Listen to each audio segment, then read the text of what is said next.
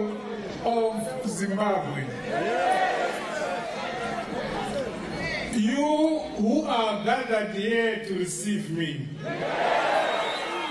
may I say, in the name of our Lord, I thank you for receiving me.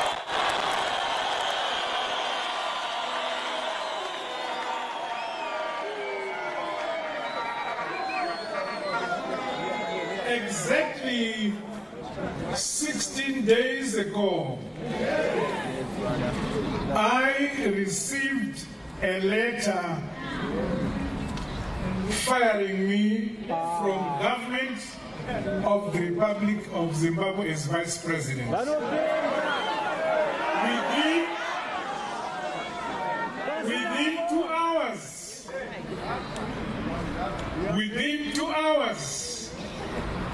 Was informed about plans to eliminate me. Realizing that on the 12th of August this year, I was subjected to poisoning, which resulted in my being airlifted South Africa. And again, I thank you, the people of Zimbabwe, for your prayers.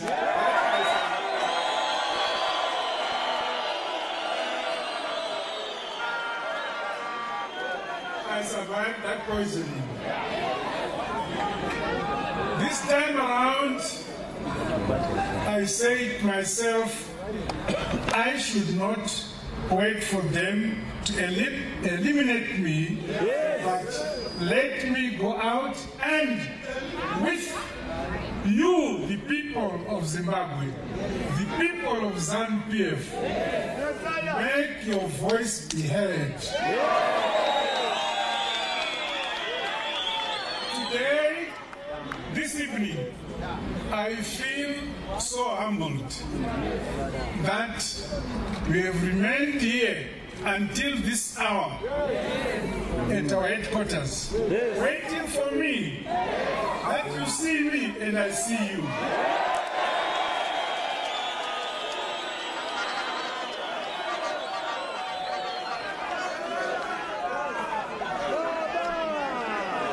The, the G40 cabal had captured the executive in the person of our president. Orders were now coming not from the executive, from people outside the executive to implement in government and to run the government. But the people of Zimbabwe yourselves have refused. I think you have of or read my letter, which I sent to His Excellency, asking the President Mugabe and say, Mr. President, the people have spoken. You yourself said, if the people say I must step down, you shall comply. This is the time to comply. Because the voice of the people is the voice of God.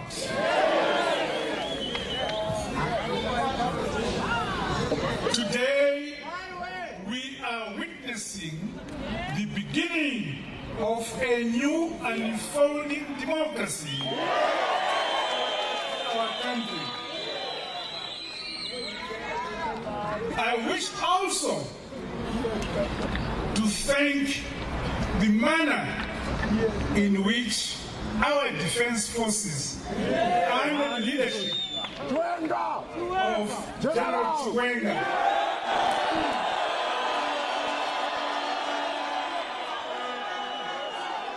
have been able to manage this process very peacefully.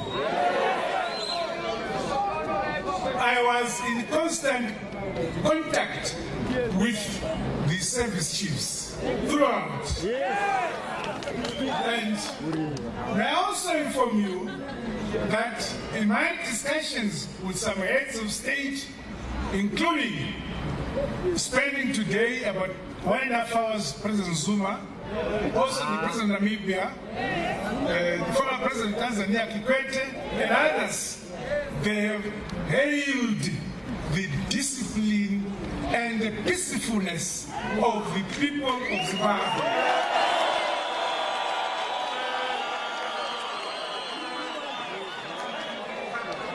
They are saying the way you have managed this process makes SADC proud, not only on this continent, but worldwide. May I thank my colleagues, led by Comrade Mpofu in the Politburo, who systematically, constitutionally, process the process which led to a point where the president, the former president, uh, Mugabe, signed to say, I now step down.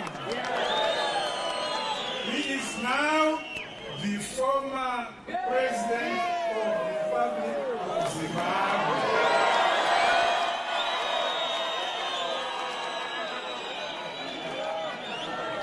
I,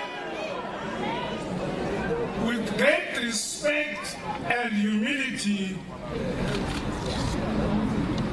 and profound gratitude to my colleagues in the Central Committee and Politburo in the manner in which they constitutionally processed the resolutions which persuaded this moment to come by.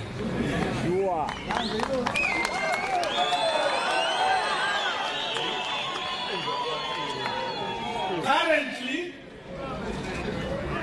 also, before I conclude, because time is gone, I'm going to make my formal speech uh, on Friday around 10 o'clock. I also wish to mention the manner in which the Speaker of Parliament handled the process.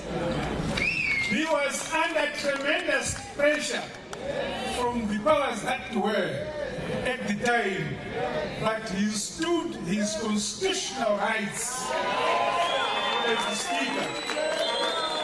I applaud him for that. The intention to derail this process, that intention was intense. But, as he said, the will of the people will always, always succeed. Vanenge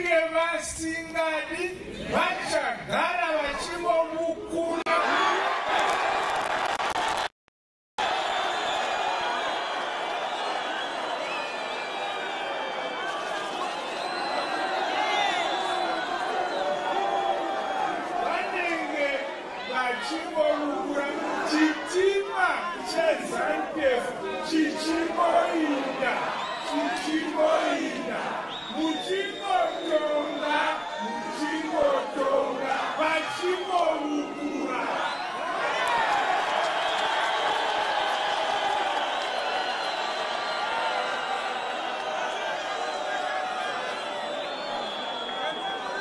I pledge myself to be your servant. I appeal to all genuine patriotic Zimbabweans to come together. We work together. No one is more important than the other. We are all Zimbabweans. We want to grow our economy. We want peace in our country. We want the jobs. Jobs.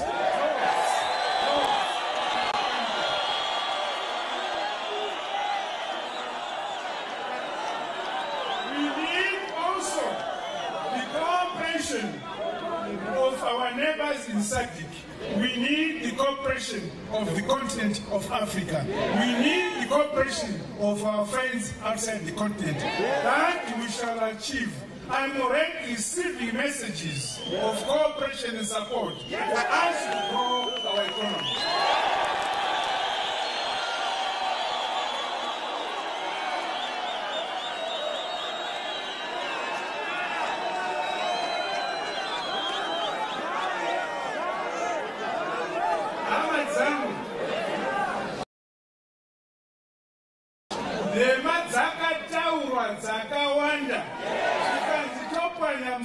Zinyoka iri handizivi kuti musoro wapwanya ndewani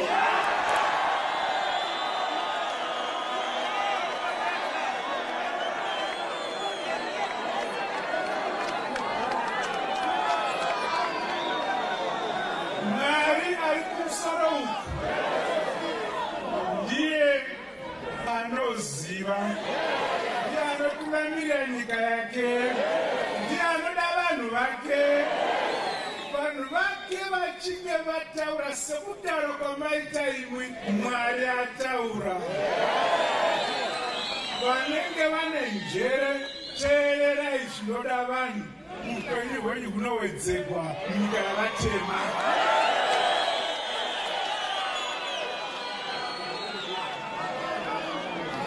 Ndinokutendai nokushinga nokutsunga kwamaita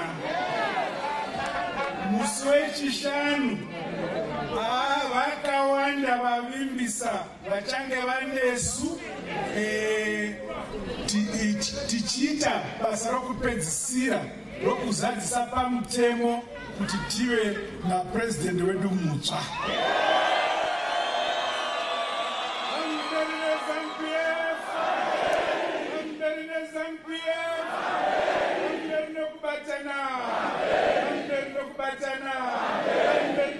negwaro